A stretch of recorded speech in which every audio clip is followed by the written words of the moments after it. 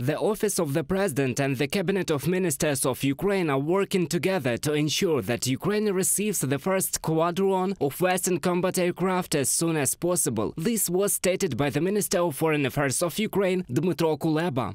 Ukraine has already assembled a kind of tank zoo. There is a decision to provide Leopard, Challenger, Abrams, and we are working on getting French Leclerc tanks. The main thing here is to open a position. I have no doubt that we will open the option of supplying combat aircraft. Dmytro Kuleba, Minister of Foreign Affairs of Ukraine, on the air of the All Ukrainian Telethon. According to Kuleba, the barrier that prevents partners from providing combat aircraft to Ukraine is only psychological. He recalled that the same obstacles at one time prevented the reception of HIMARS multiple launch rocket systems, Patriot air defense systems, and Western tanks. It doesn't matter if it's the American F-16, the Swedish Gripen, the French Mirage or Rafale or the Eurofighter. It is important to open a position, remove the taboo and get the first squadron of aircraft. Then we will already decide, taking into account the availability on the market and service, on which model to place the main bet. Dmytro Kuleba, Minister of Foreign Affairs of Ukraine, on the air of the All Ukrainian Telethon. Now the most active talks are on the transfer of F-16 fighters. These are fourth-generation fighters. There are many of them. They are in service with almost 30 countries. In addition to the United States, F-16 fighters can also be transferred from several European countries that have already announced such a possibility. However, of course, first it is necessary to get permission from Washington.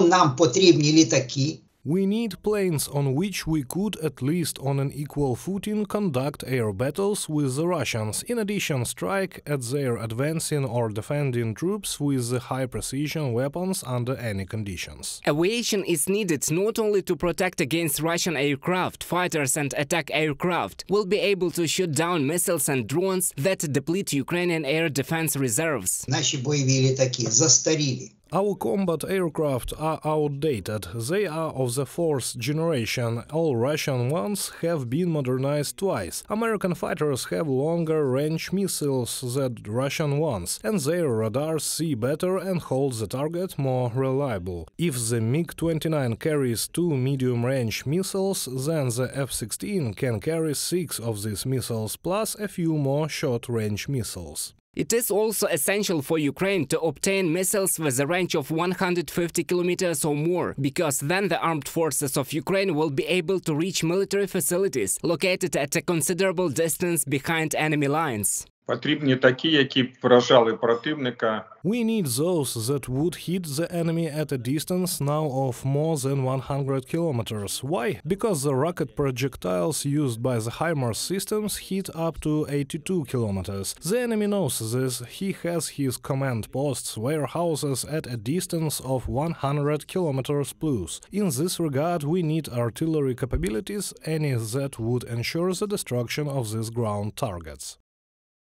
At a joint meeting of the government of Ukraine and the European Commission, Ukrainian Defense Minister Oleksiy Reznikov said that if the Ukrainian army had the ability to strike at a distance of 300 kilometers, then the Russian army would not be able to provide its defense. He also stressed that Ukraine is ready to provide any guarantees that such weapons will not be used to attack Russian territory. Questions about long-range missiles and fighters are also planned to be raised at the Munich Security Conference, which will be held on February 17th-19th. Reported by Roman Smoller, Yulia Bil, UATV News.